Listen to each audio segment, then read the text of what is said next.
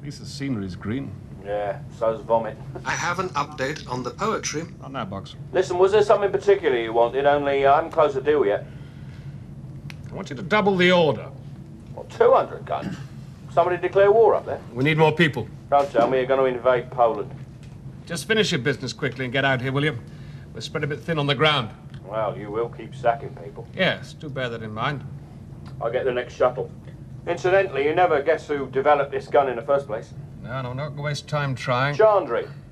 The guy with the useless information about hijackers? Score one for the man who reveres all life.